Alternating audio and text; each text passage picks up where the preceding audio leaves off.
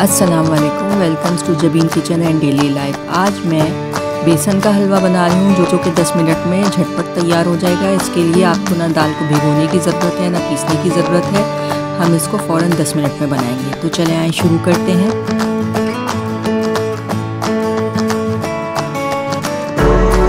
इसके लिए मैंने हाफ़ कप घी ले लिया है।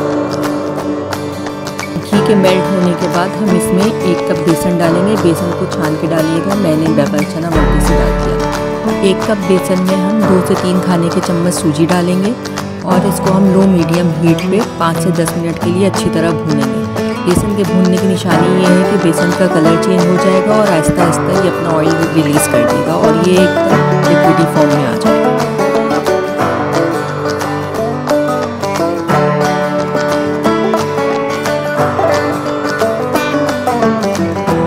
बेसन भून जाए और ऑयल सेपरेट हो जाए तो हम इसमें दो से तीन खाने के चम्मच दूध डालेंगे, मगर हमें ये ग्रेजुअली डालना है, एक साथ नहीं डालना।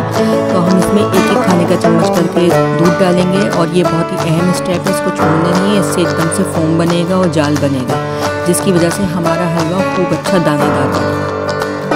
जब इसमें खूब अच्छा सा जाल बन जाए तो इसमें हम आधे कप से लेके थ्री फोर्थ कप तक का हम हम इसमें शक्कर डालेंगे और शक्कर डाल के इसको दो तीन मिनट भूनेंगे ताकि शक्कर अच्छी तरह कैरमलाइज हो जाए। अगर आपके यहाँ जो है ज़्यादा शक्कर खा जाती है तो आप थ्री फोर कप तक शक्कर इसमें डाल सकते हैं। और इसको दो तीन मिनट भूनने के बाद हम इसमें एक कप से लेकर सवा कप तक पानी डालेंगे। एक कप से कम पानी मत डालिएगा, वहाँ तो हलवा फिर भूखा हो जाएगा। और सवा कप से ज़्यादा भी नहीं डालना। और ये डाल के हम इसको अच्छी तरह भूनेंगे और फिर थोड़ी देर में देखेंगे कि ये हलवा सिमटने लगा है।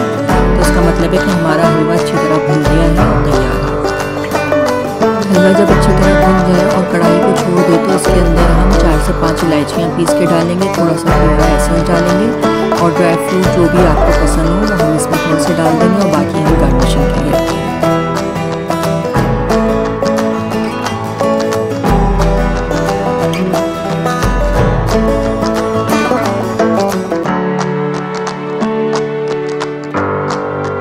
हमारा झटपट हलवा तैयार है। ये टेस्ट में बिल्कुल चने के हलवे की तरह होगा। आप इसको बनाएँ। उम्मीद है आप लोग को पसंद आएगा। आप लोग मुझे फीडबैक दीजिएगा। मेरे चैनल को सब्सक्राइब कीजिएगा। अल्लाह हाफिज़।